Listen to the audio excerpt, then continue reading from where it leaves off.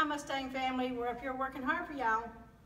I hope you're at home doing well. We sure do miss all y'all. And hope to see you soon after all this is over. We love